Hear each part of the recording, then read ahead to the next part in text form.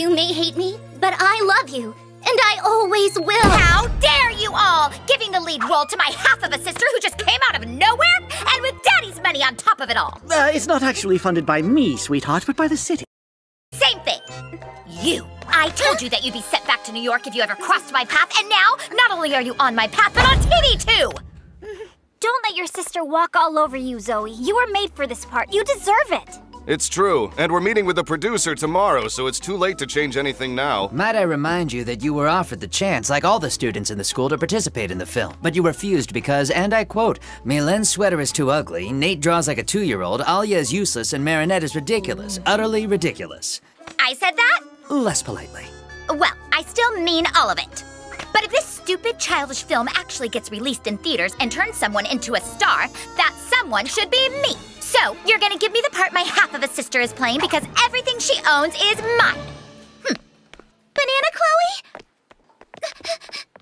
Don't worry, kids. I'll go talk to her. Everything will be fine tomorrow. And here's the office of the producer, Bob Roth. Surprise! Chloe, what are you doing here? My old friend Andre told me you'd be okay making a few small changes in the script so that his daughter could be part of the film. But it's impossible. We've prepped and gotten everything set. Movie making, kid, is the art of compromise. To protect your, I mean, the interest of the film, you gotta be flexible. Therefore, Andre's daughter will play the starring role. That's not in the best interest of the film. Zoe is perfect for the role of the superhero of creation. The next plane for New York leaves in 30 minutes. Marinette, no big deal if I don't play the main role. There's lots of other positions open on the crew. Perfect. As long as she's not on screen, it's fine with me. Then it's a deal. See you all tomorrow morning on set. Bye bye, losers! Now get out! Ah! This is totally unfair. Believe it or not, I also shot a film in my youth. It was called Solitude. Daddy, I'm trying to concentrate here.